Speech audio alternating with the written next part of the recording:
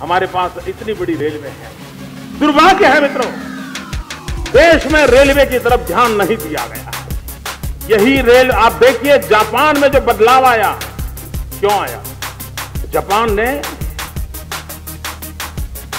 Bullet train का concept लाया और पूरे देश को खड़ा कर दिया। भाइयों बहनों, आप कल्पना नहीं कर सकते रेलवे हिंदुस्तान की कितनी बड़ी ताकत बन सकता है?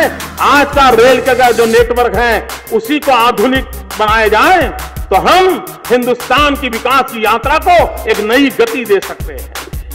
No less historic is our decision to introduce high-speed rail on the Mumbai-Ahmedabad sector.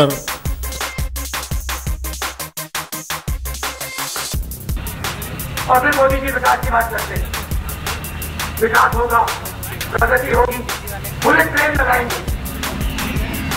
एक बुलेट ट्रेन लगेगी भैया। उसमें तीन सौ चार सौ लोग बैठेंगे, चार सौ किलोमीटर गति में जाएँगे, बाकी हिंदुस्तान देखता रहेगा, ऐसे करेगा भैया। देखो भैया बुलेट ट्रेन में जा रहे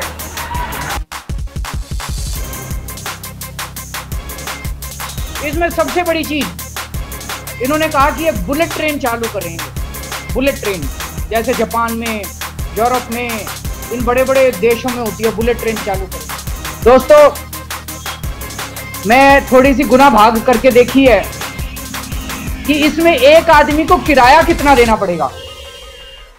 और मेरी जो गुना भाग दिखाती है कि इस ट्रेन में मुंबई से अहमदाबाद तक यात्रा करने के लिए एक तरफ़ का, एक आदमी का पिचहत्तर हज़ार रुपए का किराया होगा।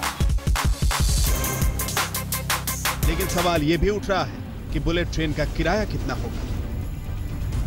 जापान की टीम ने किराया तय करने के लिए फेयर बॉक्स रेवेन्यू मॉडल बनाया है, जिसके मुताबिक बुलेट ट्रेन का किराया सेम रूट पर एसी फ़र्स्ट क्लास का डेढ़ गुना होगा। इस मॉडल के हिसाब से मुंबई अहमदाबाद रूट पर 534 किलोमीटर की दूरी के लिए एसी फ़र्स्ट क्लास का किराया अठारह रुपए है।